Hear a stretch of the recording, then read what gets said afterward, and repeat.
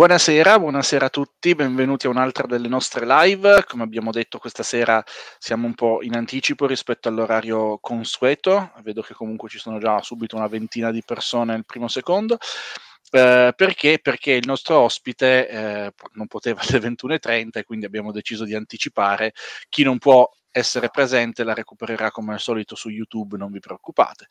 E, ehm, allora iniziamo eh, con il presentare il nostro ospite di stasera, che è un nostro eh, amico, follower, eh, insomma, che si è offerto di venirci a parlare di un argomento che conosce e che è molto interessante. Benvenuto Salvatore, eh, ti chiederei di iniziare con raccontarci un po' di te.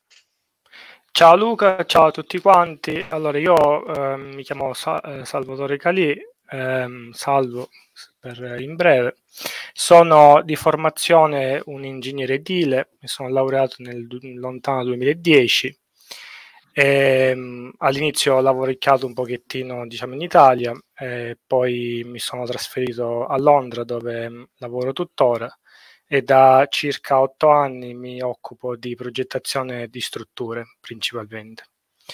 Eh, però diciamo all'inizio della, della, carriera ho anche trattato un pochettino il, um, diciamo, la progettazione edile in generale, quindi soprattutto anche la, eh, l'efficientamento energetico degli, degli, edifici e poi per un breve periodo anche la eh, progettazione del, del, mix del calcestruzzo che poi magari ne parleremo ehm, e, il, e, i test su, sul calcestruzzo e sui materiali da costruzione.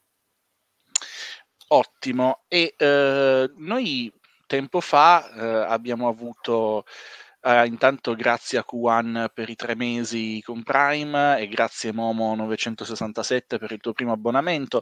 Um, dicevo, noi tempo fa avevamo scritto un articolo a firma di Fulvio proprio sulla decarbonizzazione del settore edilizio e Fulvio diceva che è, è proprio uno dei settori più complicati eh, da decarbonizzare. Lui addirittura ha profetizzato che secondo lui sarà l'ultimo settore ad essere decarbonizzato assieme a diciamo quei settori industriali più ostici. Eh, cosa rende così complicata la decarbonizzazione degli, insomma, de, degli edifici sì, in ambito residenziale? Beh, allora sicuramente il tema è estremamente vasto perché quando si parla di edifici si parla sia dell'edificio in, in sé, quindi come costruzione, e lì devi mettere insieme tutti i materiali che si utilizzano per la costruzione di un edificio, che possono andare dai materiali strutturali come il calcestruzzo e l'acciaio, sino ai materiali che si utilizzano per, eh, per le finiture, finestre, insomma tutto quello che, che, che compone l'edificio. Eh, ma soprattutto poi, e questo è nella fase diciamo sia di progettazione, nella fase di costruzione dell'edificio, però soprattutto durante la fase di, di uso eh, degli spazi ci sono sicuramente ehm, dei consumi energetici, consumi di materiali eh, che, che, comunque fanno parte anche della, eh, di, di, quel set che, mh, risorse che si devono, che si devono ridurre. Ehm, che fa parte anche della, della riduzione della, dell'anidride carbonica. Eh, e poi per ultimo nella fase di dismissione eventuale dell'edificio.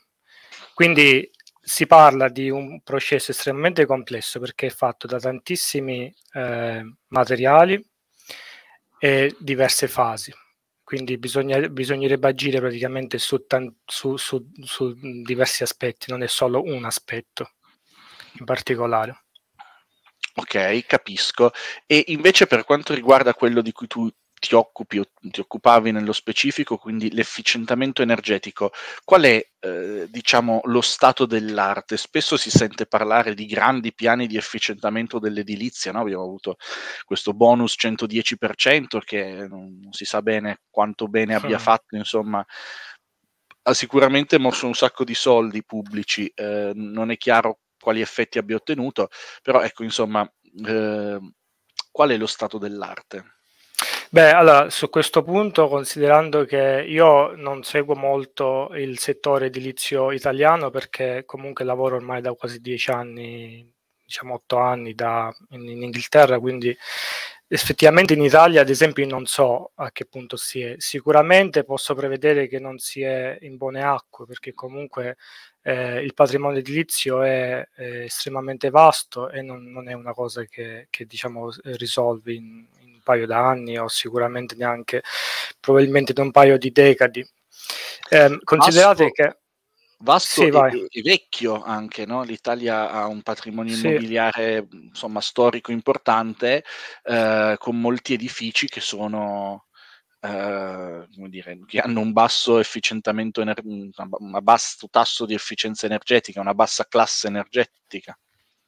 Sì, guarda, allora, um, sicuramente l'età dell'edificio conta perché eh, tu consideri che eh, abbiamo edifici eh, centenari, soprattutto diciamo in Italia, essendo un, una nazione eh, dove il patrimonio edilizio è molto molto vecchio, eh, soprattutto anche in centri abitati. Ehm, diciamo, che non hanno i, i, i, centri storici così antichi, comunque hanno edifici più vecchi di, di 100 anni o anche di più. Quindi i, i materiali che si utilizzavano una volta eh, sono la pietra, il legno, i laterizi, che sono, diciamo, quando vennero costruiti non, non, non c'era assolutamente l'intenzione di creare un, un edificio che fosse termicamente efficiente. Eppure ci sono delle piccole eccezioni. In Italia effettivamente sì e no, dipende dalla zona. Se per esempio vai nei paesaggi montani, sicuramente gli edifici riflettono un po' il clima locale. Se vai in Sicilia, eh, anche lì gli edifici riflettono il clima locale. Quindi, seppure non c'era un, un progetto di, diciamo, di edificio che risparmiasse energia, perché ai tempi non, non, c'era bisogno di questa cosa, c'era un po' un adattamento al clima. Ecco, se, quello, se questo è quello che si può dire. E... Consider- considera no. che sì, continuo, finisco la, la, la risposta. Considera che nel, dal Novecento in poi la costruzione eh, i materiali di costruzione sono stati completamente rivoluzionati. Quindi considera che alla fine dell'Ottocento abbiamo avuto l'introduzione dell'acciaio nelle costruzioni e poi nel Novecento abbiamo avuto il, il calcestruzzo armato che ha completamente stravolto proprio l'aspetto delle nostre, delle nostre città. Considerate che se prendete una qualsiasi città italiana, probabilmente eh, approssimativamente il un quarto, forse meno di quel quarto, è il centro storico, mentre il resto, se non di più del, dei tre quarti o insomma una grande proporzione è un centro diciamo nuovo, costruzione in cemento armato, eh, acciaio da noi si usa pochissimo, però soprattutto costruzione in cemento armato. Ok, che differenza c'è? Intanto grazie Esther The Dreamer per i quattro mesi e Terranova U238 um, per l'abbonamento. Che differenza c'è tra cemento armato e calcestruzzo armato? Allora, ehm, sostanzialmente è molto semplice. Il cemento è un ingrediente del, del calcestruzzo, un po' come la farina nella pizza. La, okay. Il cemento è la farina e la pizza è, è il calcestruzzo. Ehm, ok, quindi quando si dice una costruzione in cemento armato, in realtà si intende che c'è dentro l'ingrediente, ma poi il materiale effettivamente è calcestruzzo armato, corretto? Esattamente, sì, il termine cemento armato è un po' improprio, si dovrebbe dire sempre calcestruzzo armato. Però io penso che sia anche un po' un... la parola calcestruzzo, essendo lunga e complessa da pronunciare, forse si evita e si dice più semplicemente cemento, ma sì, il termine più appropriato è calcestruzzo armato. Ok, ho già, ho già imparato qualcosa di nuovo. um, io non lo sapevo sta cosa. Eh, in inglese, in inglese eh, che differenza c'è tra cement e concrete? Perché so che si usano tutti e due i termini. Esattamente. Allora, no, esattamente la traduzione letterale di cement è cemento e invece concrete è il calcestruzzo. Okay. Quindi il parallelo si fa esattamente allo stesso modo con, eh, che si fa con l'italiano. Ok, ho capito. E eh, tu hai parlato prima della, mh, uh, diciamo, delle emissioni legate alla costruzione, alla demolizione degli edifici. E sì. eh, allora inizio con una domanda preliminare. Eh, c'è i materiali che hanno meno emissioni sul ciclo vita coincidono con quelli che hanno anche una maggiore efficienza a livello termico oppure le due cose sono, mm. eh, come dire, bisogna trovare un compromesso tra due diven- diverse esigenze? Cioè mi spiego meglio, magari mm. c'è un materiale che trattiene molto bene il calore, no? quindi è termicamente efficiente, riduce l'impronta carbonica di un edificio dovuta al riscaldamento, però magari lo stesso materiale per, fabbrica- per fabbricarlo richiede molta più energia. Eh, o- quindi la domanda è se c'è da fare questo trade-off o se invece i materiali più puliti sono anche quelli più termicamente efficienti. Allora, um, sì e no, dipende moltissimo da, dai casi. Eh, la, ovviamente la, i casi sono molto complessi. Eh, in genere quando si progetta un edificio nuovo, se diciamo, il team di progettazione, il cliente è interessato a creare un edificio energeticamente efficiente, eh, allora ci si può sedere tra diciamo, un tavolo attorno a con tutti i professionisti e si decide insomma che tipo di strategia prendere, perché purtroppo è la strategia che porta poi al, alla scelta del, della scelta migliore eh, dal punto di vista sia energetico che poi di, sia energetico dal, nel, diciamo, del materiale stesso, quindi la, il ciclo vita del materiale stesso, sia il ciclo vita dell'edificio stesso. Ora, se dobbiamo scegliere il materiale, diciamo, mh, più green, tra virgolette, in teoria è il legno, perché il legno è, ehm, ha sia proprietà isolanti, eh, ma non troppissimo, ok? Cioè, non è ovviamente un materiale conduttore come lo è l'acciaio, ma non è neanche un materiale isolante come può essere la lana di roccia, ad esempio. Però il legno, in teoria, se diciamo, viene preso da... Ehm, come si chiamano, da mh, mm, eh, colture sostenibili, ovvero che magari quello che prendi viene poi rimpiazzato e allora potrebbe essere considerato, considerato green. Eh, l'impatto carbonico del legno è molto basso confrontato a quello degli altri materiali. Considera che mm, in linea di massima, ad esempio, un metro cubo di, mm, per produrre un metro cubo di calcestruzzo si, si emette già un metro cubo di, anzi mi sembra, non mi ricordo se è un metro cubo di, di calcistruzzo con un metro cubo di anidride carbonica o una tonnellata di, di, anidride carbonica. Mi sa che più con la tonnellata di anidride carbonica. Ma se fosse un metro cubo di anidride carbonica sarebbe pochissimo. Sarebbero pochissimi grammi, quindi tutto sommato sarebbe infatti. Quasi, temo che, sia, temo che eh, siamo infatti. sulla tonnellata. E eh, qua sì. arriviamo, diciamo, al, al secondo tema eh, che volevamo, che ci eravamo proposti di trattare, ovvero come ridurre l'impatto carbonico della produzione eh, di calcestruzzo.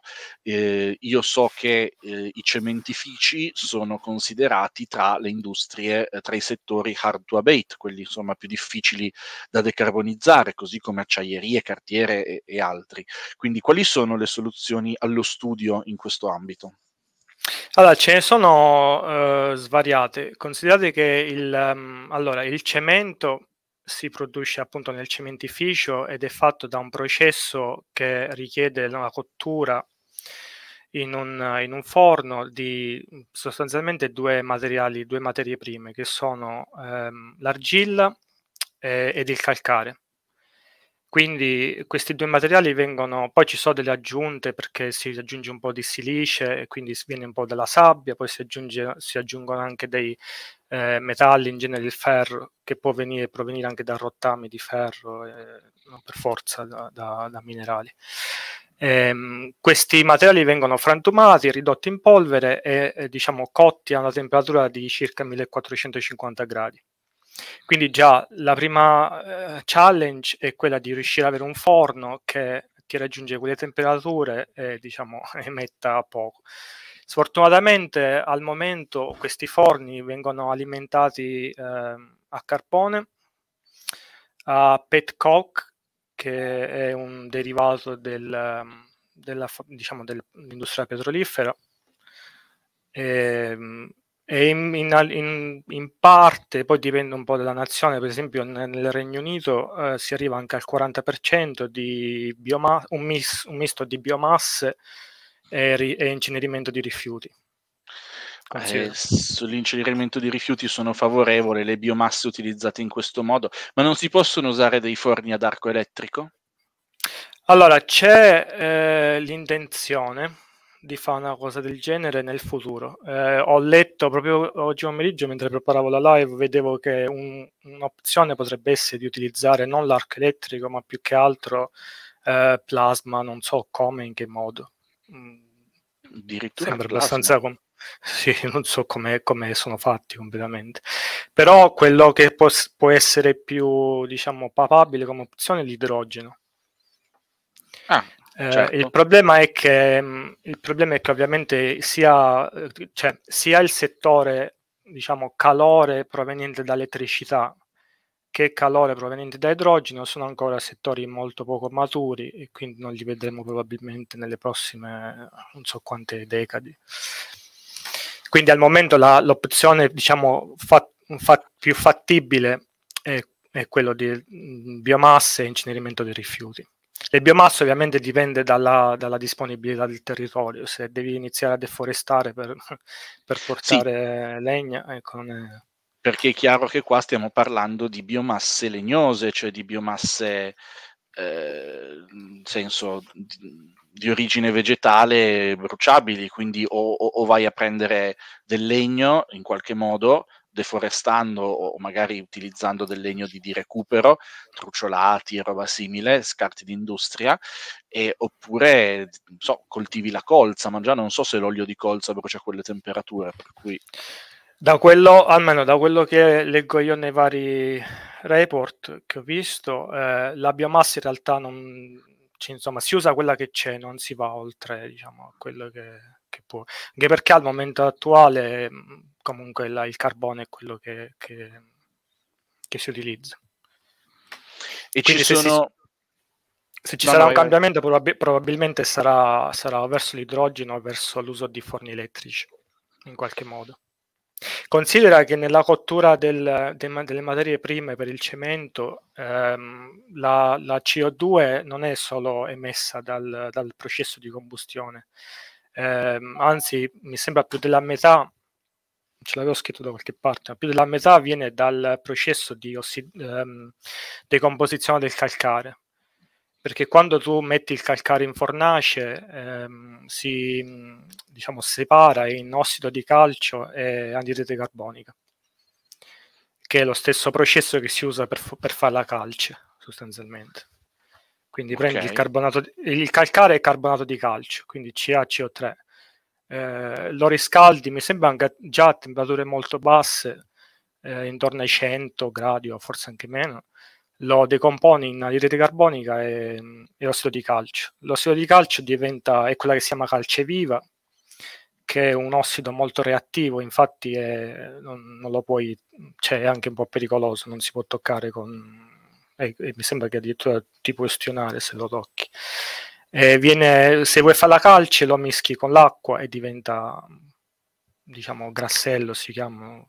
Se nel cemento diventa poi diciamo massa cementizia. Magari su questo, questo, poi lo tocchiamo dopo. Però diciamo gran parte della CO2 esce proprio dalla degradazione del, del calcare. Ma adesso ti faccio una domanda che non, non, è direttamente collegata, ma che mi hai fatto venire, hai fatto venire in mente. Hai, eh, sarebbe in teoria possibile allora fare la calce quindi il processo inverso attraverso la cattura della CO2? Cioè io catturo la CO2 esatto. atmosferica, la faccio reagire col, eh, col l'ossido, con, l'ossido, con l'ossido di calcio e faccio il carbonato di calcio, no? Allora, um, guarda, è molto interessante questa cosa. Tu considera che eh, a volte su internet, non so se ti è mai capitato, vedi quelle notizie dove ti dicono a calcistruzzo che assorbe la CO2 eh, notiziona incredibile, bellissima. In realtà il calcestruzzo naturalmente già assorbe la CO2 perché ehm, il processo di eh, questa degradazione, la chiamo, forse non è neanche il termine adatto. Diciamo, una volta che il, il carbonato di calcio si separa in ossido di calcio e, e CO2, eh, questa reazione è, è mh, reversibile. Quindi eh, sotto certe condizioni la CO2 si riunisce di nuovo all'ossido di calcio per formare di nuovo il carbonato di calcio e questo, questo processo si chiama carbonatazione. Okay. E avviene naturalmente, non devi fare nulla. Sostanzialmente, se tu hai, eh, immagina un blocco di calcestruzzo da qualche parte, eh, in ambiente umido, purtroppo ci vuole un po' di, diciamo, di innesco, l'innesco è l'ambiente umido. Eh, la CO2 attacca il calcestruzzo e comincia a, carbona- eh, fa, fare questo, questa reazione di carbonatazione. E quindi la parte più superficiale del calcestruzzo, si tra- ehm, diciamo l'ossido di calcio, comincia a trasformarsi lentamente in carbonato di calcio. E, e quindi sì, insomma, tornando alla tua domanda, eh, non lo devi fare apposta, avviene automaticamente. Però siccome avviene eh, sulla superficie del calcestruzzo, tu teoricamente lo puoi accelerare questo processo. Se ad esempio quando demolisci l'edificio, tutto il calcestruzzo che, che recuperi lo frantumi eh, in parti quanto più piccole possibile in modo da aumentare la, la superficie diciamo esposta del calcestruzzo all'aria. Tra l'altro queste poi la, la, magari possiamo toccare il, il tema anche in modo più approfondito, però questo è uno dei modi che si diciamo auspica per fare cattura della CO2 del, um, con il col calcestruzzo vero e proprio. Allora, intanto volevo ringraziare Onnivoro per il ride, eh, è venuto con qualche amico da un altro canale. E, ehm, e, allora la domanda successiva è adesso, al di là di questa piccola deviazione che, che era una curiosità mia, um, uh-huh. per decarbonizzare questa parte del processo, quindi il rilascio di CO2 eh, dovuto alla, alla, reazione del carbonato di calcio che viene insomma de- decomposto, eh, c'è un modo per ridurne l'impatto, l'impatto climatico? Allora, si può fare per esempio cattura della CO2 in fase di produzione? Uh, questo non ti saprei dire, però ci sono altri modi, eh, sia diretti che indiretti. Allora, se tu produci il cemento e per esempio produci 100 di CO2, potresti eh, diciamo auspicarti che una gran parte se la demolizione in base al principio che dicevo prima viene, viene fatta in un certo modo, puoi dire va bene, ho emesso 100 di CO2, 50 li recupererò col processo di carbonatazione e questa è una cosa. Ora, ehm, c'è un altro aspetto però da tenere in considerazione, che è ehm, provare a ridurre in effetti l'uso del cemento nel mix del calcestruzzo. Um, ci sono dei, um, dei, materiali alternativi che possono essere utilizzati come materiale elegante nel calcestruzzo, che sono alternativi al cemento stesso. E, ehm, e questi materiali sono in genere o le ceneri vulcaniche, eh, tradizionalmente la pozzolana, la pozzolana. Tra l'altro, una curiosità se, che può essere interessante, il, um, il, Pantheon a Roma è la cupola del Pantheon è fatta in, è anche in muri, mi sa. Sono fatti in, in calcestruzzo. Infatti il calcestruzzo non l'abbiamo inventato diciamo il secolo scorso, lo usavano già i romani e, e, loro come materiale elegante usavano non il cemento perché non esisteva, ma usavano la, la pozzolana. Okay. Che, si, può, che si, si, si, prende sostanzialmente dalle cave, non è nulla di...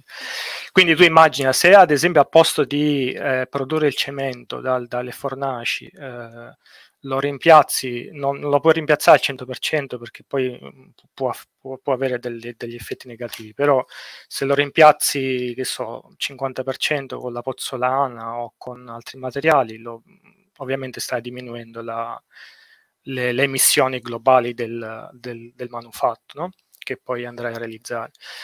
Eh, ci sono anche altre, altri materiali che hanno proprietà. La proprietà di legare nel calcestruzzo si chiama eh, idraulicità, che praticamente vuol dire che se tu prendi quel, quel materiale e lo, e lo, mm, fai reagire con l'acqua, eh, questo eh, diciamo diventa duro. Ecco, è...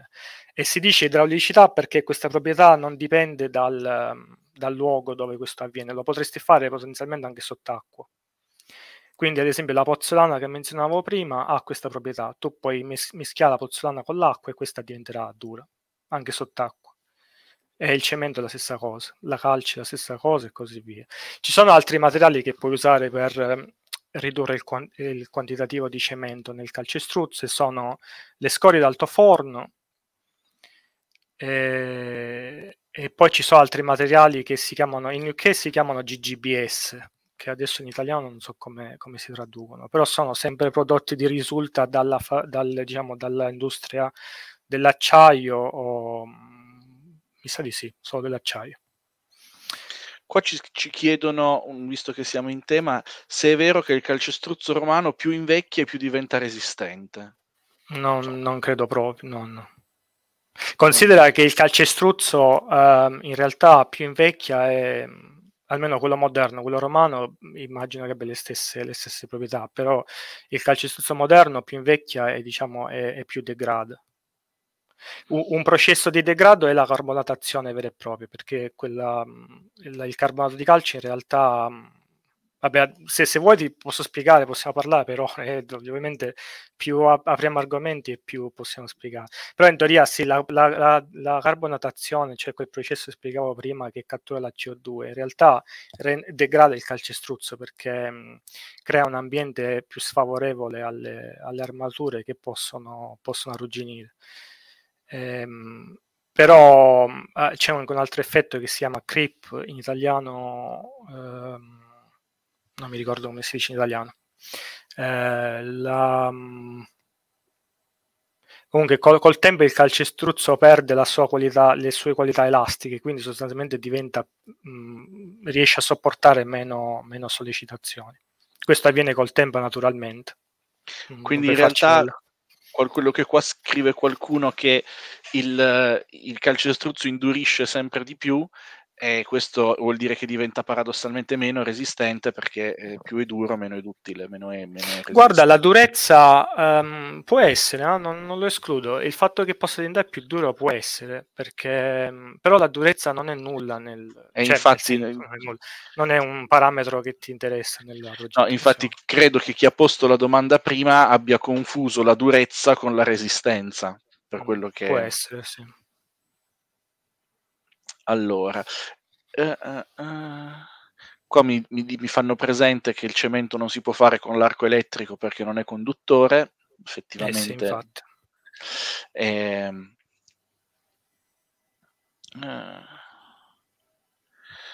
Stavo, sto guardando. Ah, scorrimento viscoso, sì, ho letto la, la, il commento, il creep in italiano, la, sì, um, scorrimento viscoso o deformazione viscosa. È, è, un effetto che si ha quando um, cioè, tu, le strutture si deformano, ok? Tu se prendi, immaginale come una trave di legno, no? Se tu ci metti un peso sopra si, si deforma. Lo stesso avviene anche nelle strutture in acciaio, in cemento armato, qualsiasi struttura. Ovviamente le vedi di meno perché, perché il cemento, il calcetto armato è molto rigido come materiale. Però il, il, cedimento viscoso è una cosa che col tempo avviene anche se la trave non, o l'elemento non viene caricato. Cioè col tempo va smollandosi, smollandosi sempre di più può causare dei problemi anche, infatti in fase di progettazione si deve tener conto di questo effetto capito. Uh, sì, ragazzi, sì, sì, più o meno i commenti in chat hanno, hanno confermato più o meno quello che avevo capito io. Um, allora, um, ci sono altri settori, diciamo, eh, critici dell'edilizia, oltre a quello della produzione di calcestruzzo e a quello dell'efficientamento termico degli edifici, o questi sono, diciamo, i due più, più impattanti? Beh, più che altro questi sono quelli che conosco più, più da vicino, perché ehm, ovviamente c'è l'altro grande settore che è quello della produzione di acciaio, eh, là diciamo è, è, accomunato per tutte, per un, un po' meno per tutte più o meno per tutte le industrie che utilizzano l'acciaio. Eh, considera che mm, eh, l'acciaio dipende ovviamente dalla produzione e quindi ehm, l'acciaio è una lega di, di ferro e, e, carbonio. Quindi tu c'hai del carbonio che, devi, che, che, devi, che devi inserire in lega eh, che entra nel, nel, processo stesso, la fusione, tutto il processo di metallurgico, bla bla bla che ci sta attorno. Io non sono un esperto, di, devo dirti, di, di, questi processi, però sicuramente ha le stesse challenge che, che, hanno, che hanno tutti quei settori hard to abate. Sì, sì, sì, sì. Eh, tra l'altro l'acciaio dei settori hard to abate è quello più impattante, anzi volevo far vedere, volevo far vedere un attimo una cosa. Eh se tu, io avevo mm, preso, volevo, potevo, posso mostrare il grafichetto che c'è su mm, Statista eh, che fa vedere la, mm, il, diciamo, la produzione di CO2 eh, in base al settore. E se lo vai a vedere questo? c'è... Sì, sì, sì, questo qui. Infatti puoi vedere che, eh, se riesco a ingrandire io, lo vedo piccolo, eh, l'acciaio è Iron and Steel 7.2%. Esatto, è un settore estremamente energivoro quello dell'acciaio e quello del cemento però sta qua, nel, diciamo, nelle emissioni industriali non legate alla, alla combustione, all'energia e probabilmente proprio per quello che dicevi tu, cioè il fatto che qua si produce CO2 ma non per motivi energetici ma per la reazione di cui parlavi prima e quindi non è classificato sì, sì. nella parte di energia Uh, sì, sì. e sono il 3% delle emissioni globali, cioè la produzione di, di, di, uh, di cemento influisce per esempio più dell'aviazione uh, e, e, più del traffico navale, cioè che vedete qua sotto esatto. 1,9, 1,7, cioè mhmm, è un, un settore diciamo dall'impatto, dall'impatto molto importante. Che poi questi valori giustamente li puoi, tu li prendi come settori singoli, però giustamente ci sono delle, reale, eh, delle interrelazioni tra i, tra i, settori, perché giustamente eh, l'acciaio devi considerare anche la CO2 prodotta durante il trasporto del, del materiale, e lo stesso per il, per il, il cemento. Um, tu considera che um, io ricordo che io ho lavoricchiato in Sicilia, io sono siciliano, e il cemento in Sicilia arriva dal porto di Augusta, non è prodotto in Sicilia. E comunque in genere arriva sempre attraverso grandi navi che lo vanno a prendere dai luoghi di, di produzione. In Italia credo che abbiamo delle cementerie, anche perché abbiamo delle famose ditte che producono il cemento in Italia. Ehm, quindi è un prodotto locale, se vogliamo, ovviamente non di tutte le regioni, ma in generale della nazione. L'acciaio, ehm, beh, abbiamo Ilva, non so, altre, altre acciaierie, però per esempio in UK eh, molt, gran parte dell'acciaio è importato, anche se c'è una buona, una buona parte che, che è prodotta localmente. Quindi devi entrare nel settore transport 16.2% in quel per sì, queste cose. È il settore... Mh, tra l'altro notate anche questo, adesso non c'entra niente con l'argomento di oggi, ma è come le emissioni fuggitive e unallocated fuel combustion, quindi due settori che sono sostanzialmente uh, spreco, cioè n- non servono a nulla, uh, fanno un, un, 15% più o meno di emissioni globali, 14, è 8,6, 14, sì, 13,6 che il 13.6% delle emissioni globali sono banalmente dovute allo spreco. Questo l'ho sempre mm. trovato molto, molto interessante. E, ehm, posso chiudere questo, questo grafico? O... Sì, sì. Sì, sì, sì, vai. E, ehm, qua scrivono che c'è un cementificio a Brescia. Eh, sì, sì, sì, no, ci credo perché ce ne sono di svariati in Italia. Cementifici ce ne sono, ce ne sono tanti. Io mi ricordo che avevo, ero passato vicino a un grande cementificio, però non mi ricordo più dove. Sicuramente uno l'ho visto in Perù, che era enorme, e proprio cioè, prendeva tre quarti del panorama. C'era questo pa- paesino piccolo eh, vicino uh. ad Arequipa e con poi un cementificio gigantesco che prendeva tre quarti del, eh, del panorama.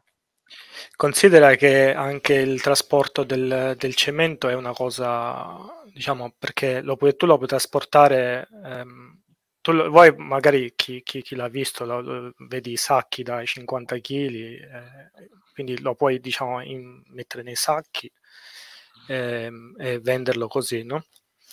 Eh, questo è un metodo un po' meno efficiente di trasporto perché giustamente devi pacchettare e poi lo, lo vai portando in giro.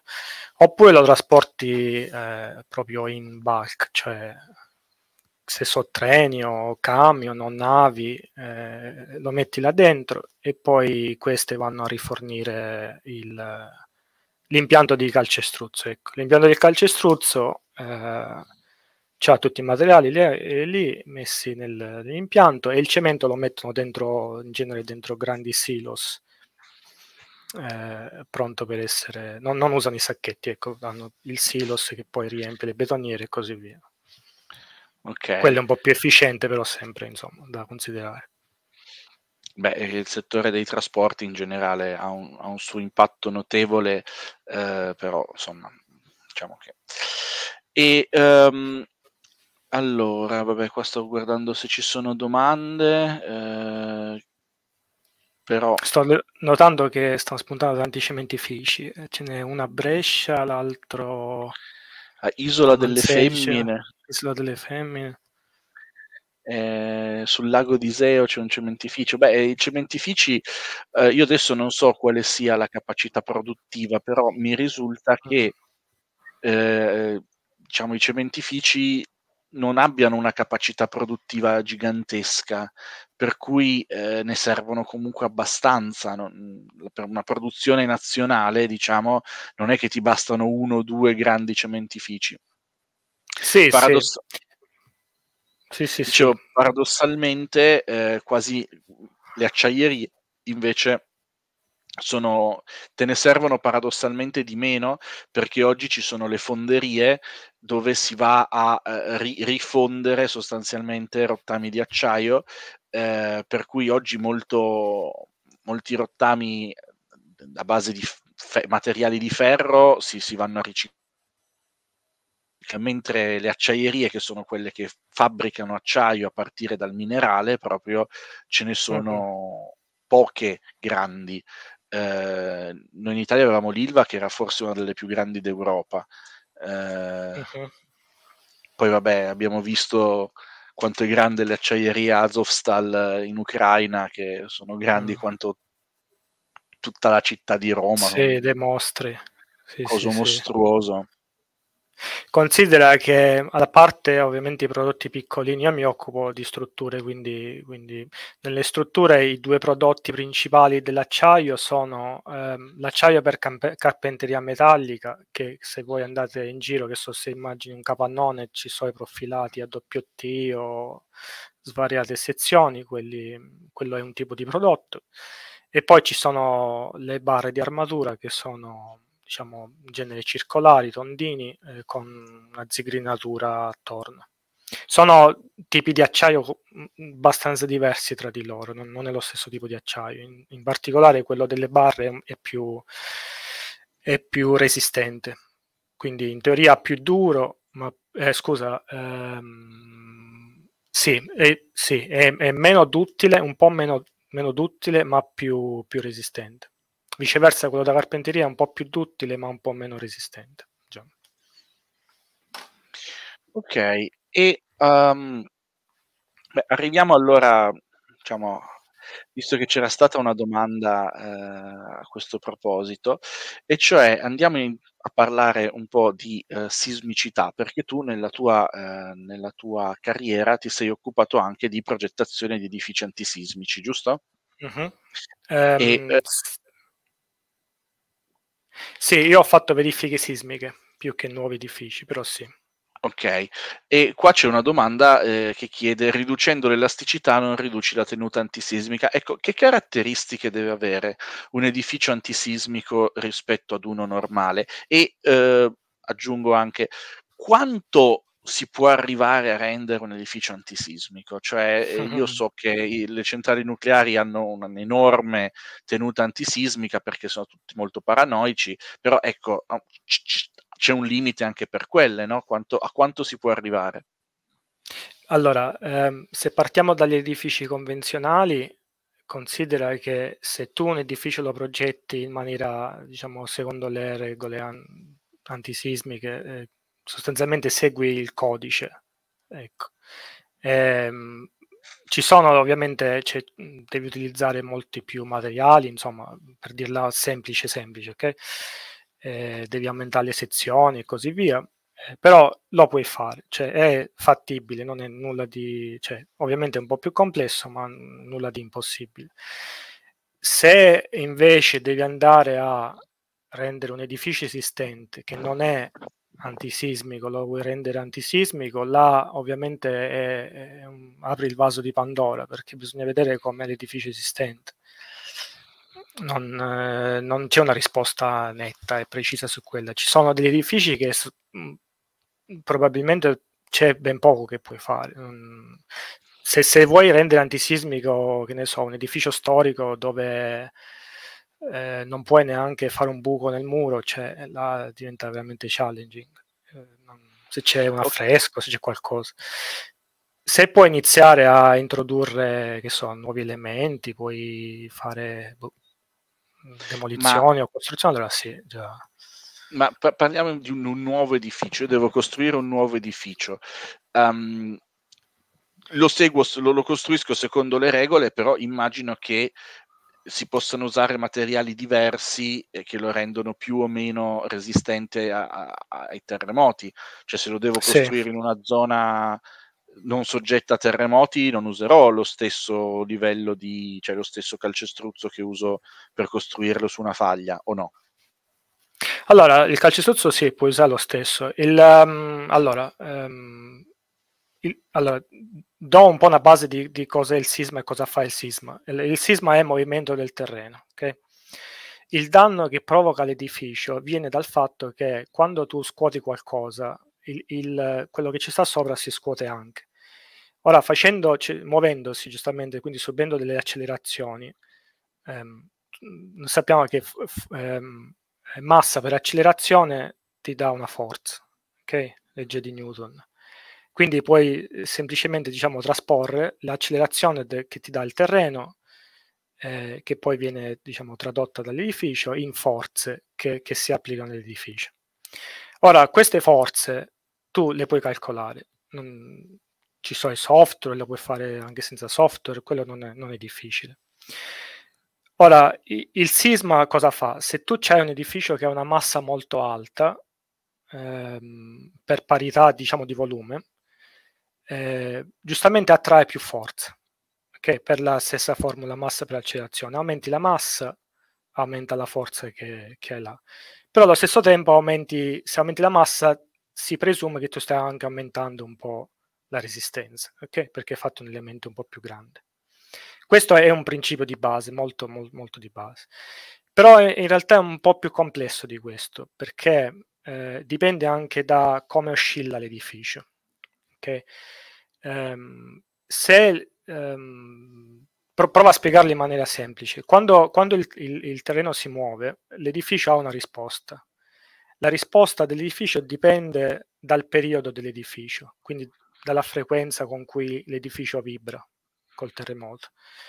Ora, il, la forza che si esercita sull'edificio dipende dal, dalla frequenza, da, proprio da questa frequenza. C'è un range di frequenze che causa il, il, il, ehm, la forza più alta, le forze più alte sul, sulla struttura, e altri range di frequenza che causano forze più basse.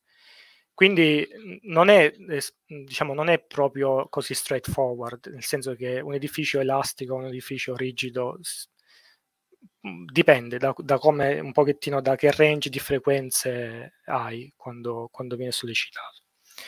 Um, ora tu considera che um, se tu hai un edificio che di sua natura è, ha poca massa e, e oscilla molto, potenzialmente quello può essere buono per te, perché in genere gli edifici che oscillano molto ehm, eh, diciamo attirano poche forze, quindi attirano poco stress sugli elementi.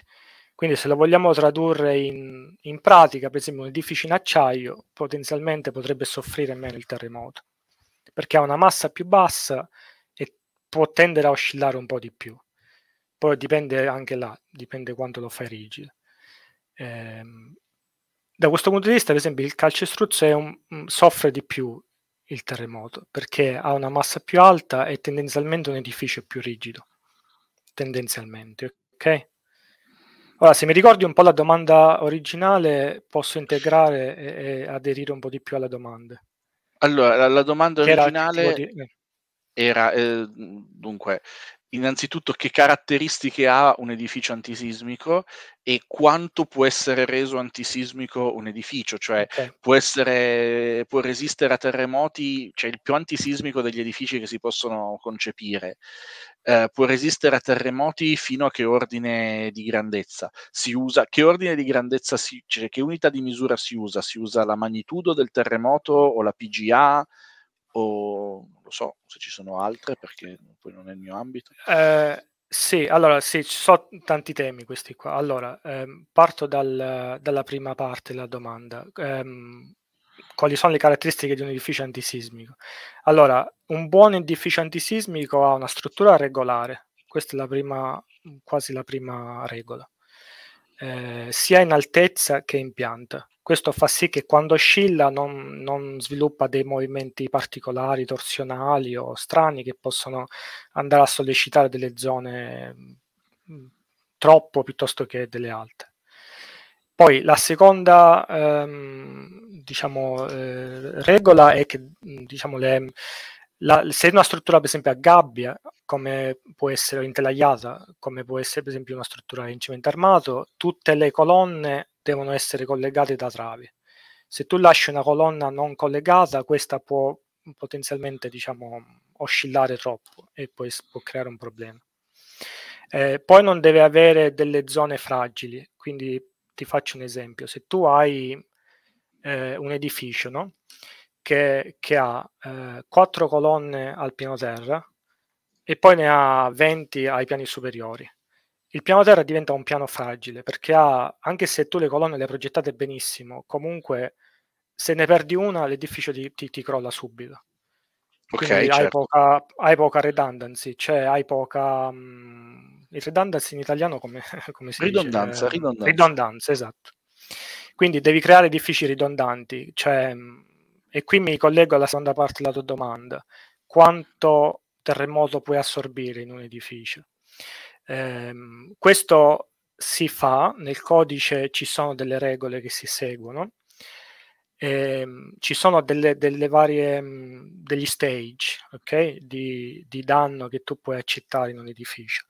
Eh, il primo stage è, è quello che si, che si usa per, eh, per, terremoti lievi. Okay? Tu vuoi che un terremoto lieve non causi nessun danno, quindi potenzialmente neanche la frattura di un, di un muro, di un muro non portante, per esempio eh, oppure le fratture nella struttura. Eh, poi per terremoti un po' più forti accetti che ci siano dei danni ma che non ci siano dei crolli. Okay? Poi vai aumentando e accetti che magari ci siano dei, eh, diciamo delle rotture che in gergo, in gergo tecnico si chiamano cerniere plastiche. Quindi accetti che la struttura ca- abbia dei danni irreparabili in alcuni punti, ehm, e questi punti proprio devono rompersi perché rompendosi dissipano l'energia del terremoto. Ok, quindi si rompono, ma non, non si stacca il pezzo. Ok, è un okay. po' immaginati una trave connessa a un pilastro. Ok, questa viene scossa, li, il nodo si rompe, però la trave non crolla. Ok, non si stacca. Ok, sì, è abbastanza logico, si può capire. E, e, poi come ultimo c'è uno stage in cui non puoi assumere anche alcuni crolli parziali, ma non vuoi il crollo totale dell'edificio. Quindi okay. accetti che magari, che so, crolli un solaio o, o, una trave o una parete, eccetera, ma per esempio non, devono, non devono rompersi le colonne. Le colonne sono le ultime cose che tu vuoi che... i pilastri, ecco, le chiamo colonne, ma eh, i pilastri, non vuoi che si rompa, perché se, se, se, si rompe il pilastro magari può crollare tutta la pilastrata sino in, sino in cima al tetto, no? Okay. E potenzialmente se ci sono pochi pilastri può ribaltare, insomma può succedere. Quindi ci sono questi limiti qua. Ora dipende dal, dalla zona in cui ti trovi, Eh, I valori di sisma vengono espressi, ehm, allora il, il, valore più mh, che piace di più a tutti è la PGA, quella che hai menzionato tu, la Peak Ground Acceleration, che è l'accelerazione massima al suolo che un terremoto può, può provocare. Okay? Eh, però in realtà la PGA è un po' un, diciamo, un, un, un, parametro che non si deve mai vedere da sola, non, non è caratterizzante di un terremoto. È un po' come la temperatura media per indicare il climate change, cioè è un parametro, ma giustamente dietro c'è, c'è un mondo, non è solo quella. Okay. Quindi tu per caratterizzare un terremoto hai bisogno sì della PGA, eh, ma mm, lo puoi fare in diversi modi. O usi l'accelerogramma vero e proprio del terremoto, che se vuoi velocemente posso spiegare cos'è l'accelerogramma. E, sì, mm, sì, se ti serve mostrare delle slide basta che c'è il No, non ho la slide. No, no, non ce l'ho. Siccome però... hai parlato di accelerogramma, la mia mente ha subito pensato a qualcosa di, di un grafico. Sì, magari nel frattempo anzi. vediamo se... Ah, e comunque spiega, spiega, pure che cos'è, nel senso... Sì, sostanzialmente tu puoi prendere un apparecchio dove, dove ci sono degli accelerometri che misurano l'accelerazione in, in quel punto di misura. Okay? Se tu plotti la variazione dell'accelerazione nel tempo, ottieni un diagramma che si chiama accelerogramma. Ok abbastanza semplice. Eh, la stessa cosa si può fare con gli spostamenti, quindi diagramma che ha in, in, ehm, in ascissa c'ha sempre il tempo e in ordinata gli spostamenti. Quindi il terremoto lo puoi caratterizzare con questi diagrammi. Eh, quindi ti, puoi usare lo spostamento massimo al suolo, puoi usare la, la PGA, eh, questi vengono inglobati nell'accelerogramma e, ehm, e, poi dipende anche un po' dalla normativa che usi, eh, usi anche degli altri parametri che ti vengono dati dalla normativa, che sono legati alla zona vera e propria dove stai costruendo l'edificio o dove stai facendo la verifica. E in genere questi parametri tengono conto ad esempio del tipo di suolo, dove sei, ehm, il, il, suolo ha, ha un, un, grande impatto sul, sul, sul, risultato, diciamo, sull'effetto del terremoto sulla struttura, quindi quello deve essere tenuto in conto anche. Non mi dilungo troppo, se vuoi possiamo entrare anche in dettaglio, però se, se ci sono domande o... In questo momento non, non, ci sono domande, quindi possiamo direi possiamo andare avanti, credo. Se avete domande, ragazzi, fatele pure in chat, noi gliele, gliele giro sempre volentieri. Intanto, grazie a Giruni per il tuo abbonamento. E, ehm, ok, quindi uh, ho, ho, un'idea, anche se un, diciamo, insomma, è, è, è, più complicato, cioè, come, come, tutte le cose, una volta che vai a guardare il dettaglio, uh, sono, sono, sempre complicate. E um, e l'Inghilterra non è una zona particolarmente a rischio sismico, o sì? No, no, no. Ci sono dei, delle aree che, che, son, che, hanno, che hanno avuto degli eventi sismici, in genere è un po' la zona, diciamo, dei Midlands, quindi altezza dell'Irlanda più o meno, e poi verso la Scozia. Considera che la prima zona più sismica vicino all'UK è l'Islanda perché ci sono i vulcani là e così via. Eh, una cosa che mi è venuta in mente che, che potrebbe essere interessante è come viene determinato il rischio sismico delle aree perché questo mm. comunque ha a che fare un po' anche con la, la localizzazione del, delle centrali, ad esempio, se tu fai... Sì, eh, sarebbe stata una domanda in arrivo, ecco. Ok. Quindi parliamone pure. Sì, allora tu considera che il, la valutazione del rischio sismo, sismico è un topic che viene trattato da, dai geologi, dai sismologi più che altro. Ehm, si fa attraverso lo studio del, del terreno vero e proprio. Eh, ci sono due, due, tipi di eh, valutazione di rischio sismico che si possono fare e ce n'è eh, diciamo, quella di tipo deterministico e quella di tipo probabilistico che sono due grandi categorie. quella deterministica è quella che, che, che si è usata diciamo, in passato, è quella un po' più, tra virgolette, semplice da fare e si basa sostanzialmente nel prendere tutti gli eventi sismici che sono avvenuti in una certa area e si dice ok, quindi ci aspettiamo che ci possa essere un evento sismico di quel tipo, eh, con un tempo di ritorno di quel, quel, valore, di quella magnitudo e così via, in quella zona e così via. Quindi questo è abbastanza semplice. Tant'è vero che se tu vuoi um, progettare un edificio, per esempio, tu puoi anche andare a usare um, gli accelerogrammi di, di terremoti che sono, che, sono esist- che, che sono avvenuti in quell'area, se sono disponibili. In genere non è sempre così. Se tu hai un'area molto sismica, paradossalmente potresti avere tan- tanti dati a riguardo. Per esempio, se sei in Giappone, probabilmente loro hanno database eh, storici anche a partire da anni addietro. E, e poi invece eh, diciamo l'altro metodo eh, che si è sviluppato più negli ultimi, negli ultimi decenni è quello probabilistico che eh, va a studiare proprio la conformazione del, del territorio. Quindi la prima cosa che si fa è si va a vedere dove sono le faglie, quindi faglie, rotture nel terreno, zone di attività eh, zone attive anche in base al tipo di rocce eh, che ci sono in quell'area e si va a stimare quanta è la probabilità che un evento sismico possa avvenire in, in quell'area. I risultati non è detto che siano gli stessi, eh?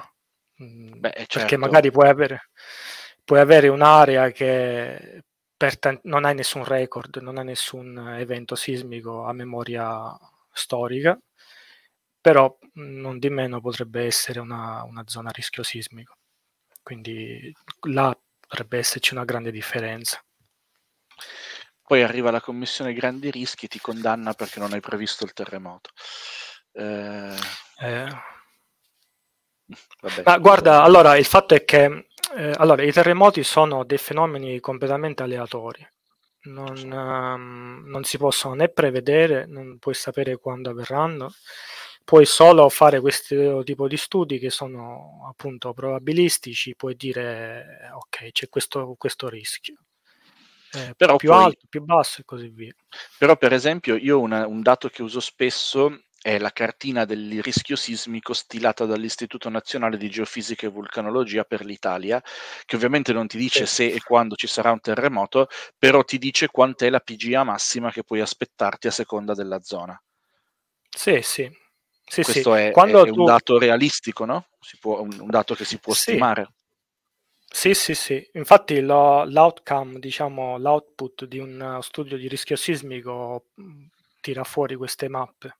Quindi tu hai una mappa dove ti dice questa zona ha un rischio più alto, un rischio più basso e solitamente il rischio è espresso in valori di PGA, perché è il valore più immediatamente comprensibile, ecco, non è che vai in dettaglio su altri parametri. Per, per, per, praticità ovviamente. Se tu però invece vai a fare un progetto... Aspetta, aspetta, fermo, fermo, fermo. Hai, hai, tipo l'audio che si è messo a gracchiare fortissimo. Non so se l'hanno sentito anche dal pubblico, ma tipo per un... Prova a parlare? Sì? No, hai l'audio che gracchia. Non so che ah. cosa... Forse non è collegato bene, cioè tipo se mosso il cavo... Sì, sì, sì, ci dicono anche dal pubblico che ti si sente gracchiare. Eh, inconvenienti tecnici sono il bello della diretta, lo sapete. Sei adesso in muto? Come ade- eh, ok, meglio? adesso va bene, adesso va bene. Ok. Ehm, sì, stavo dicendo sulle mappe di rischio sismico che vengono fatte per... Se tu fai un progetto, un progetto vero e proprio di, di un edificio, una centrale, quel, quel, che sia, giustamente poi vai a guardare tutti i parametri della, dell'area. E perché ovviamente arriviamo al clou della questione, in Italia la sismicità italiana è spesso citata come eh, buon motivo per opporsi al nucleare, tra l'altro in maniera ridicola perché eh, sembra che l'intera Italia sia territorio sismico, che non esista neanche un, un, chilometro quadrato dove puoi mettere un reattore, che fa ridere perché poi ci sono anche dei punti non sismici, per cui... però ecco, um, visto che hai fatto de- delle valutazioni ecco, su- sul rischio sismico, innanzitutto come è messa l'Italia dal punto di vista generale, se lo sai, se, se invece hai fatto sì. tutto in Inghilterra, ehm, e poi qual è la tua valutazione sul potenziale rischio rappresentato da una centrale nucleare in area sismica e secondo te dove sarebbe eh, per esempio la centrale di Kreshko se ne parla perché è costruita in una zona abbastanza sismica e quindi abbiamo la regione Friuli che continua a fare moratorie su moratorie sperando di convincere gli sloveni a non raddoppiarla, loro continuano a scriverlo sulla macchina invisibile. E... Ehm, sì, allora l'Italia è un territorio a, diciamo, a rischio medio. Mm, se lo vogliamo prendere come, come nazione intera.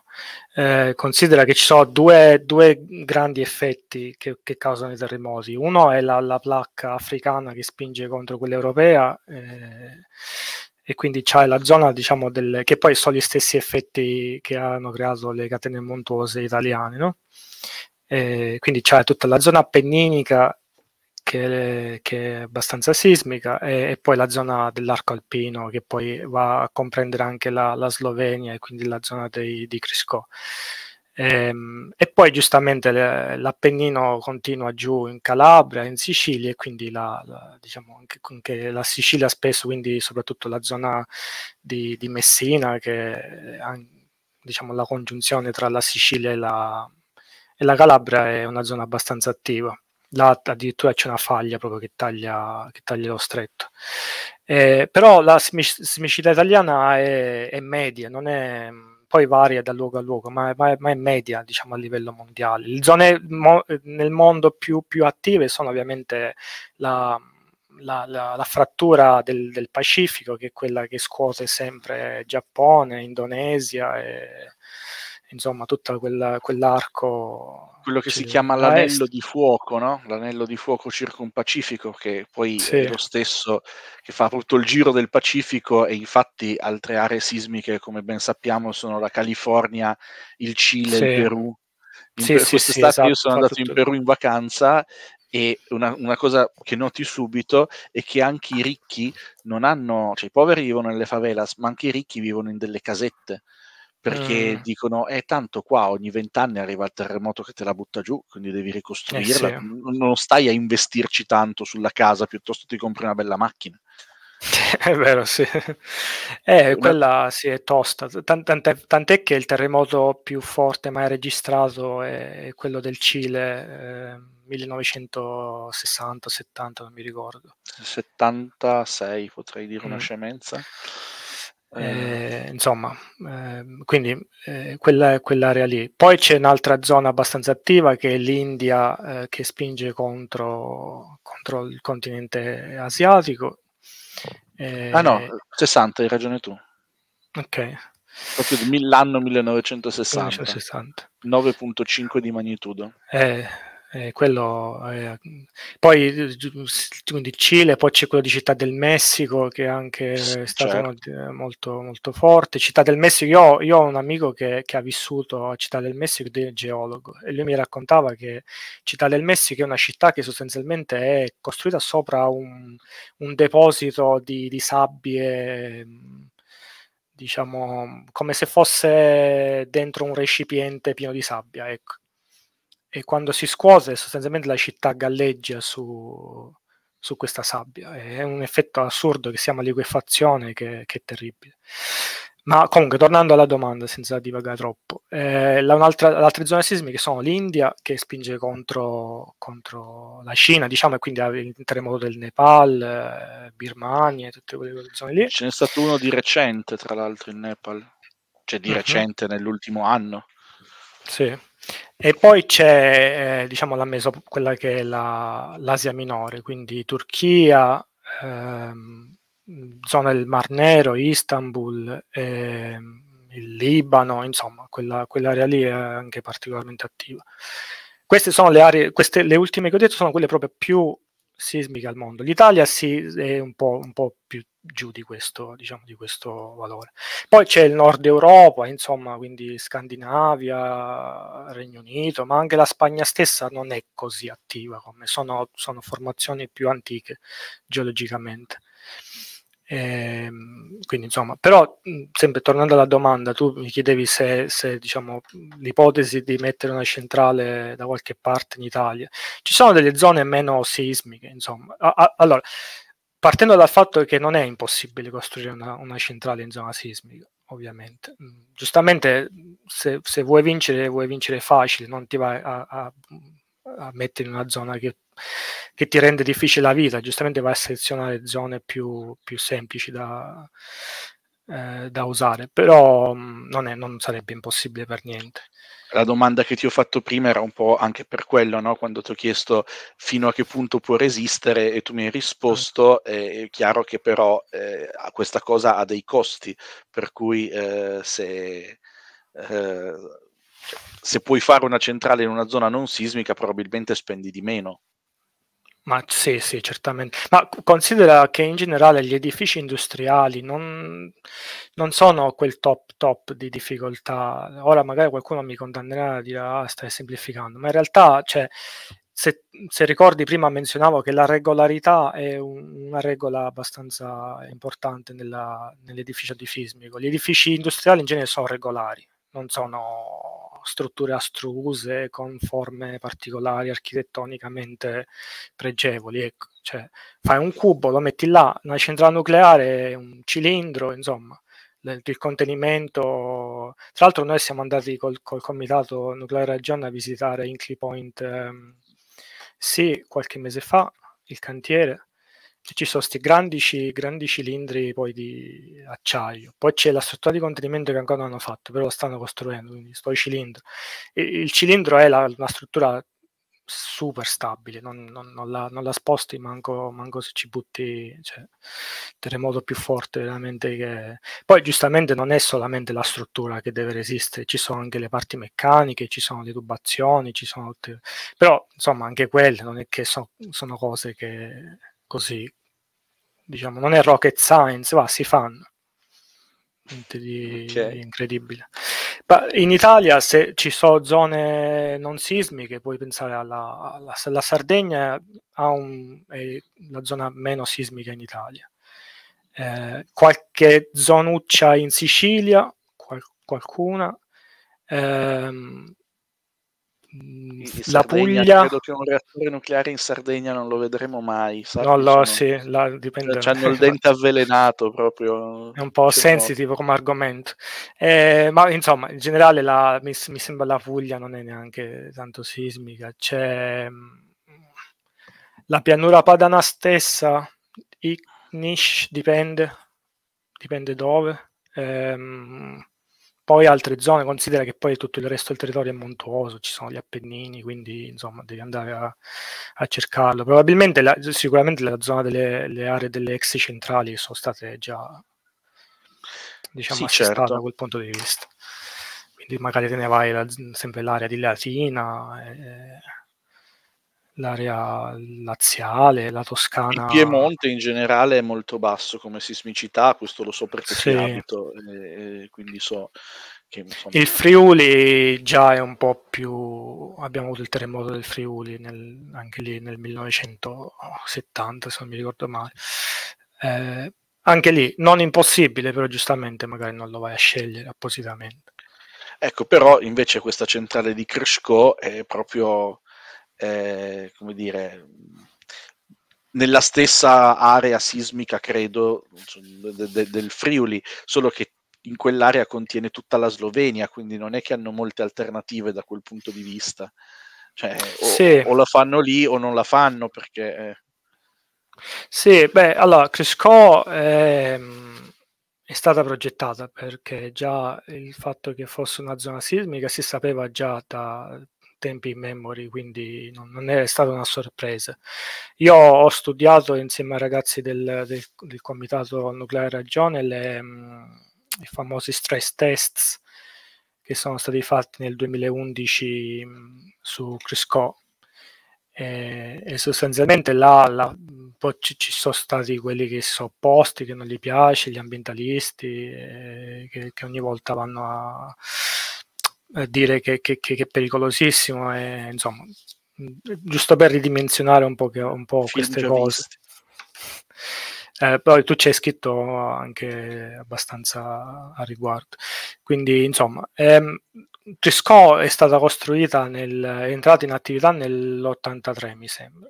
Eh, però la progettazione iniziò negli anni 60, quindi negli anni 60, se, se uno si va a leggere questi, questi reports, negli anni 60 hanno iniziato a fare le indagini geotecniche. Quindi hanno analizzato il suolo, e hanno fatto, diciamo, hanno, hanno cercato di, di vedere quale fosse, hanno fatto anche prove sismiche, cioè hanno fatto proprio delle indagini per valutare il rischio sismico. E, così, giusto per fare un recap, eh, per, per, spiegare com'è la situazione. Eh, la progettazione iniziale, vai, vuoi no, no, no, no, no, no, no, no. Ok. Eh, la progettazione iniziale, ehm, loro utilizzarono il valore di PGA di 0,3 eh, perché veniva dal codice americano. Considera che ai tempi non c'erano ancora queste mappe che ci sono adesso, quindi loro hanno fatto i loro studi, poi hanno deciso che il valore di 0,3 fosse adeguato per quel tipo di progettazione. Però attenzione perché ora qua vediamo nella storia un po'. 0,3 è il valore di safe shutdown, non è il valore di... cioè che diventa 0, eh, arriva un terremoto con 0,31 e crolla tutto, cioè è safe shutdown, vuol dire che a 0,3 la centrale si spegne automaticamente. Eh, bon, quello, quello è. Eh, addirittura 0.15 era stato settato come oh, livello di operatività, quindi sotto 0.15 non si smuove niente, non succede nulla. Eh, comunque, poi negli anni nel 94 si fecero degli studi più approfonditi del, del territorio e eh, si, si, arrivò alla conclusione che, che la PGA dovesse essere aumentata a 0,42 quindi da 0,30 iniziale diventa 0,42. Eh, e a, a, seguito di questo, poi nel 96 si fecero del, delle analisi, perché giustamente prima era 0,3 poi 0,42, hanno fatto delle analisi, eh, sono andati a aggiornare alcuni sistemi, hanno, visto, hanno valutato se c'erano delle criticità, eccetera, e non c'era nessuna criticità. Eh, poi nel 2004, mi sembra, c'è stato un ulteriore studio sempre sul rischio sismico e hanno incrementato la, hanno incrementato la PGA da 0,42 a 0,56 mi sembra. Quindi non dico il doppio di, di quello originale, ma quasi, diciamo, quasi il doppio di quello originale. E anche lì sono tornati i tecnici, sono andati a fare la valutazione del caso e per dirla brevissima, hanno detto ok, non, la, la, la, struttura iniziale era stata progettata in modo ottimale, eh, noi abbiamo fatto le verifiche, non, non troviamo dei, eh, diciamo, delle criticità particolari. Eh, hanno implementato alcune, alcune, cose perché mi sembra anche un po' sensible, cioè, hanno soprattutto le parti meccaniche e le parti idrauliche rispetto a quelle altre strutturali, diciamo, o del core. E in più una cosa importante è che queste ultime due analisi, quella del 96 e quella del 2004, ehm, le hanno fatte usando un metodo probabilistico del calcolo del rischio sismico. Ehm, quindi eh, sono analisi un po' più accurate rispetto a quelle che, se vi ricordate, prima abbiamo parlato di questa cosa. Sì, sì, sì, sì certo. Ehm... Io me lo ehm ricordo, poi spero anche il pubblico. okay. Quindi l'analisi probabilistica funziona in questo modo, ti dice che il rischio è questo valore entro questi altri valori. Quindi per esempio ti dice noi possiamo eh, avere il rischio di questo failure ehm, per un terremoto che sia più forte di questo valore, ma questo la probabilità che avvenga questo terremoto è bassissima. Per esempio, loro alla fine del report, nonostante l'aumento della PGA e bla bla bla, dicono che abbiamo fatto le analisi e abbiamo concluso che eh, non, si, non, si, non ci sono danni al reattore o danni, insomma, eh, sì, ecco, danni quella parola. Eh, al nocciolo. Entro, al nocciolo entro 0.8 quindi siamo oltre a quel valore di 0,56 che, che è del, rischio sismico. Eh, dopo 0,9 eh, nel report si dice eh, non si possono escludere eh, diciamo leakage di radiazioni all'esterno del, del, del, nocciolo. E questa cosa ha fatto spaventare un, un po' tutti, no? Diciamo, ma come? Allora, quindi c'è un, può succedere, allora, che succede? Allora, se viene un terremoto di 0,91, che fa? Si perde la se diciamo, la radiazione viene liberata all'esterno. Ecco, là bisogna, infatti, è importante capire i risultati, non è che bisogna leggere i numeri sì, così a un po' a cavolo. 0,9 sei praticamente a una sollecitazione meccanica pari a quella della forza di gravità, tanti auguri, cioè con molto meno crolla, è crollato, cioè, crollata mezza, mezza Slovenia. Tu considera che 09 di PGA se la applica ai edifici convenzionali, eh, lì, cioè, anche, gli, anche, gli, edifici fatti bene antisismici soffrono abbastanza. Probabilmente, non dico che collassano, però li butti. Eh, edifici non sismici sono a terra completamente. Eh, quindi sì, è un, è un, gran bel valore 09. Sì, no, 09 ma là, cioè, anche, che poi anche lì tipo loro dicono 0,9 il tempo di ritorno di un terremoto che può causare una PGA di 0,9 è tipo di 500.000 anni.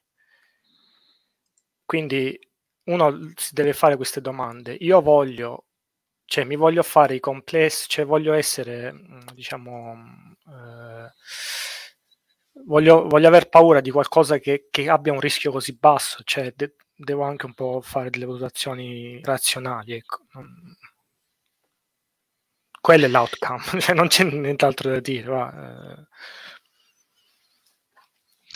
E hanno fatto una domanda molto interessante in chat, eh, e cioè, lasciamo un attimo da parte le centrali nucleari, il ponte sullo stretto di Messina. perché lì invece siamo in una zona che è, è, sismica, insomma ci sono stati, stati, terremoti proprio nel canale di Sicilia, poi quando capitano i terremoti lì crolla mezzo patrimonio immobiliare perché una casa su due spesso è abusiva, non voglio, fare, non voglio essere razzista, ci mancherebbe, però è un dato di fatto. No, ma è, è, vero, ci sì. siano, cioè, ci, ci, sono regioni del sud dove l'abusivismo edilizio arriva al 60% degli edifici, quindi, ehm, per cui eh, questo ponte di cui adesso si è tornati a parlare, è cosa che torna ciclicamente, ma si può fare o no? Domandone. Ma guarda, allora io, io, non sono un progettista di ponti, quindi a volte mi, mi, un pochettino cerco di, di non sparlare di, della, della, situazione. Ti posso dare la mia opinione personale, ovviamente. Allora, la, la prima cosa che è importante, eh, diciamo, dire è che per dire se una cosa si può fare o no, bisognerebbe vedere il progetto. Perché a quanto pare io sapevo che qualcuno aveva fatto il progetto di sto ponte, io non l'ho visto questo progetto però a quanto pare c'è un progetto. Poi che sia una okay. fake news o che sia una, un, diciamo un, qualcosa per fare propaganda politica, non, non ho idea. Eh, ma assumiamo che ci sia questo progetto, ok? Io, io ho, dei, ho, i miei dubbi. Okay. Allora, eh, tu considera che il ponte più, lungo, più lungo al mondo al momento è quello di Lakashi Bridge in, in Giappone, che è un chilometro e sei, mi sembra. E, ehm, e, il ponte di Messina sarebbe, se lo fai a campata unica, sarebbe 3 km e qualcosa. Quindi stai quasi raddoppiando lo, la campata. E, e, non dico che ora io non so, cioè va oltre la, la mia competenza proprio in maniera assoluta.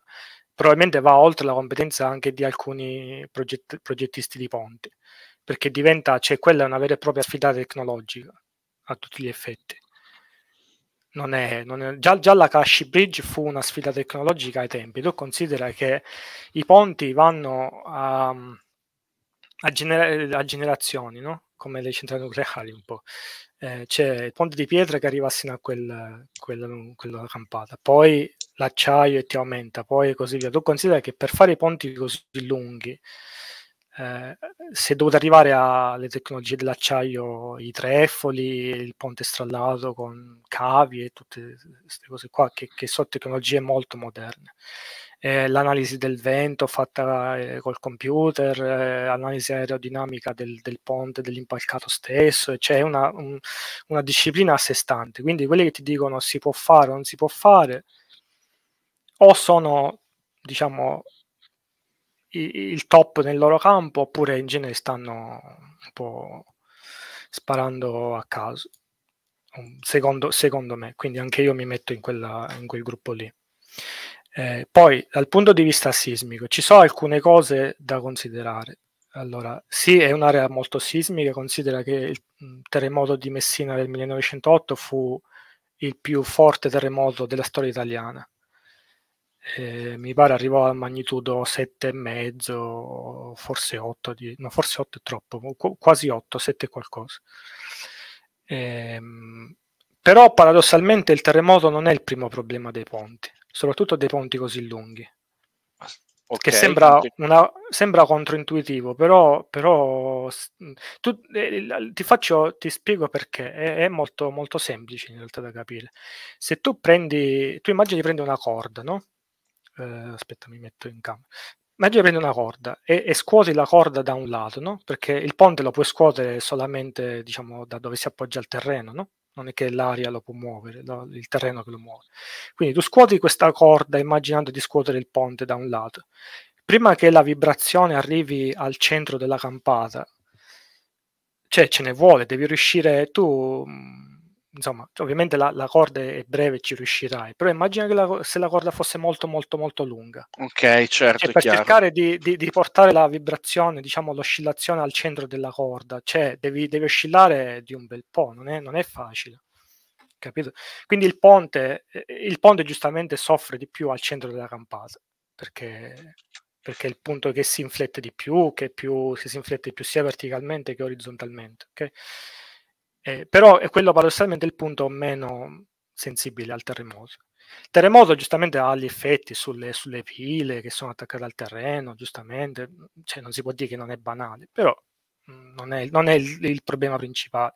Il problema principale dei ponti sono dei ponti così lunghi è il vento. E, ehm, il vento sì, sì che quello, quello è challenging, eh, perché se voi andate su YouTube e, ehm, e cercate la, il video del ponte um, Tahoma, vediamo se riesco a... L'hanno, l'hanno, l'hanno, citato in chat, Tahoma Bridge. Hanno esatto. detto che però era proget- in chat scrivono era progettato male ed è andato in risonanza. Esatto. Eh, quello fu il, um, il, collasso. Purtroppo nei ponti si dice spesso si impara da, dal, dal, failure. Vabbè, in qualsiasi industria si impara dal failure. Però quello fu uno dei failure che, che fece diciamo, eh, imparare ai progettisti a considerare il vento in maniera, in maniera corretta. Eh, è, eh, tu considera che quello è fatto quando il vento colpisce un ponte, tu immagini questa è la sezione del ponte, ok? Il vento che fa magari prova, riesce a ruotarlo un po' da un lato. Nel momento in cui lo, lo fa ruotare, se i due vortici si distaccano, se, se le, i due filetti di, di, aria si distaccano dall'altro lato, cioè questo, l'empalcato si è, ru- è, ruotato talmente tanto che i filetti si distaccano, si creano delle turbulenze da, dall'altro lato. Okay? È la stessa cosa che succede anche nell'ala di un aereo. Okay? Quindi la turbolenza, a parte che ovviamente è, è una sollecitazione maggiore sul ponte, però può, può, può, può portare il ponte a, a, oscillare anche dall'altro lato. E quindi il fenomeno si, si ripete. Eh, all'opposto. Quindi sostanzialmente eh, hai un movimento torsionale, diciamo oscillatorio, e questo è il movimento peggiore che può accadere a un ponte. Tant'è che infatti poi dopo il Tawama Bridge si fece in modo che gli impalcati fossero rigidi in modo torsionale. Però se tu prendi il ponte di Messina a campata unica, eh, a parte la deformazione orizzontale di sto ponte, devi immaginare che se viene spinto dal vento, sto ponte eh, ovviamente si può, si può spostare orizzontalmente come una molla, no? E quello non è, non è da sottovalutare. E poi, e poi, ovviamente anche il vento che lo, eh, può, può, creare questi effetti torsionali. Non è semplice rendere rigido torsionalmente un, un ponte così lungo. Ecco. Ok. Eh, Uh, allora, qua riportano che Salvini ha detto che porterà il ponte sullo stretto lunedì al Consiglio dei Ministri. Uh, va bene, Salvini può dire quello che vuole, poi insomma ne dice uno al giorno. Quindi... Io guarda, se ti devo dare un'opinione personale, secondo me ehm, il ponte di Messina si dovrebbe fare a più campate, non a campata unica. Perché la, eh, la, la difficoltà diventa quando tu fai una campata troppo lunga. Ok se cominci okay. a mettere dei piloni, dei piloni più... Ovviamente il pilone poi lo dovresti mettere nel mare, no? Giustamente sì. perché è quello... Eh, e tutti dicono, eh sì, ma il mare, però ci sono le correnti, ci so, c'è comunque... Però cioè, non la vedo tanto più difficile di... Cioè, challenging, per challenging secondo me è più semplice creare, creare i piloni nell'acqua. Poi magari c'è qualcuno che mi dice, ah no, stai dicendo una stronzata, però ci sta. Si eh, deve vedere. eh, Anche perché, qualcuno... scusa, per, per, fare il ponte lungo, se tu vuoi fare solo due pile all'estremità, la, la, la, pila del ponte, quindi la torre che sorregge poi i cavi, deve essere altissima. Cioè, deve essere una torre.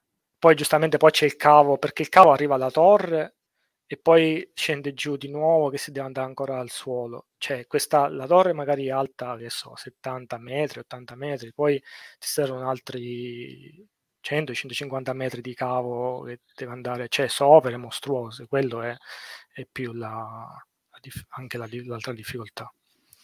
Qualcuno ci dice costa meno farlo più campate se magna di meno. Non voglio Probabilmente sì, è una mossa politica per cercare di... Io non so neanche se poi i politici capiscono cosa vuol dire campasa o pila, quindi anche là sarebbe eh, Intanto io voglio ringraziare Rick Senato per i tre mesi e Night of Dolan Roth per i sei mesi. Non stavo più guardando la, la, la, insomma, gli aggiornamenti su quelli che si abbonano. Um, mi raccomando, continuate ad abbonarvi e a sottoscrivervi al canale che eh, insomma, così possiamo continuare a proporvi contenuti di qualità. Eh, qualcun altro qua invece parlava del tunnel, tunnel sotto lo stretto di Messina, io non mm. diceva tutte quelle idee sul, sul, tunnel sotterraneo, io non ne ho mai sentito parlare, però boh, non, non so sì, se sia... ma eh, sì, guarda, c'è l'Eurochannel, sai, quello che collega l'UK alla Francia, che, sì, certo. che, è un esempio, un bel esempio. Ma in, a Messina non, non, avrei idea se si può fare o no, là diventa più, esula completamente dal mio campo di... Ma più che io altro una questione, io non so quanto costi fare una roba del genere, perché il traffico mm. tra Londra e la Francia è come dire, abbastanza intenso da giustificare la, la costruzione di un tunnel tra Messina e Reggio Calabria non ne sono sì. del tutto sicuro. ecco. E, ehm, però vabbè, stiamo, stiamo, andando, andiamo, stiamo, andando, molto molto oltre a, a quello che doveva mm. essere il tema di questa, di questa serata. Abbiamo divagato. Ehm, allora, rispondo a un paio di domande veloci. Qualcuno ci chiede di cosa ti occupi e eh, l'abbiamo detto all'inizio, lui è... Eh, come dire, eh, si, occupa, si è occupato nella sua vita sia di eh, studi, diciamo, sulla sismicità, di, di, analisi del rischio sismico degli edifici, eh, sia di progettazione di sistemi e in particolare oggi lavora nel campo dell'efficienza energetica per, nel settore edilizio. Eh, io, allora, io sono ingegnere strutturista al momento, da okay. otto anni a questa parte. Quindi sì, la parte sismica, qualche progetto l'ho toccato, ma in generale progettazione di strutture. Poi c'era qualcuno che, aveva, che aveva, non aveva capito quando parlavamo di 8, di 9 della PGA che cosa, che cosa sono. In effetti forse l'abbiamo dato per scontato, cioè che ha chiesto qual eh, è l'unità so, di sì. misura. Allora, allora, sì, vai. No, puoi dirlo tu, ti, nel senso... Sì, allora parliamo di accelerazione quindi la variazione di velocità nel tempo, ok? Eh, nella macchina acceleri e quella è l'accelerazione, ok? Eh. Ora, vai. È l'unità di misura, però non sono metri al secondo quadrato, che sarebbe l'unità sistema internazionale, ma parliamo sì, di... Sì, no, usi. Allora, parliamo... si usi metri al secondo al quadrato, però la, la rapporti alla, all'accelerazione di gravità. Quindi esatto. l'accelerazione di gravità è 9,81 metri al secondo quadro, ok? la, l'accelerazione sismica si, si, rapporta a questo valore. Quindi se noi diciamo un G, che poi anche in aeronautica si usano queste, questi valori. Però sì. se tu dici un G, stai applicando l'accelerazione di 9,81 metri al secondo. Se tu dici 0,5 G, stai applicando la metà di quel valore e così via tutti gli altri valori intermedi. Per cui quando diciamo 0,9 vuol dire che siamo al 90% dell'accelerazione di gravità sulla superficie terrestre, quindi siamo all'incirca sì. un 9, un 9 metri al secondo quadrato. Sì. E poi... Uh, uh, uh, Ah, tutte, le altre, tutte, le altre, domande in realtà abbiamo risposto e tra l'altro si sono fatte le 8, per cui io andrei anche verso la chiusura della live. Vi invito se avete ancora delle domande a farle in chat, eh, però appunto poi tra 5 minuti chiudiamo perché eh, è ora di cena. Per Salvatore non ancora, forse perché in Inghilterra sono le 7. Sì, sì, ma qua mangiamo presto. Ecco. Quindi sì vado a casa e c'è cena, praticamente. Ah, perché sei ancora in ufficio? Cioè, stai facendo la live eh, sì, sì. Allora eh, mi, sì, sento, mi sento ancora più in colpa a trattenere un uomo in ufficio. Ah, ma non ti preoccupare, no, ma non è extra work questo qua, quindi it's ok. E vabbè, non vedo arrivare altre domande, mm, quindi io direi che eh, abbiamo ampiamente trattato gli argomenti eh, che ci eravamo prefissati e siamo anche riusciti a, a, a eh, diciamo, estendere cosa parlando di ponte sullo stretto e, e mm. quant'altro. E, ehm, ah, qua c'è una domanda che però come si potrebbe diminuire l'inquinamento dell'MMT? E camion, eccetera. Mm. Io non so che cosa siano le MMT, cioè mi viene in mente la Modern eh. Monetary Theory. È vero, sì. No, neanche io, non lo so. Eh, magari ci può scrivere. Camion, eh, trasporti, quindi sarebbe un altro argomento.